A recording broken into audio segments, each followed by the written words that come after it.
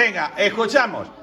Lo primero, yo entro y me encuentro que tengo una imagen de fondo. Una imagen en el fondo del escritorio consume recursos.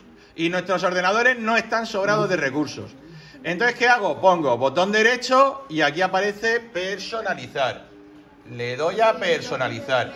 Y se me abre una ventana. Y en esta ventana, la primera ventana desplegable, le doy y elijo donde pone color sólido. Veis que inmediatamente el fondo se ha convertido en negro. Cierro y ya está. Ya tengo la pantalla como la quería.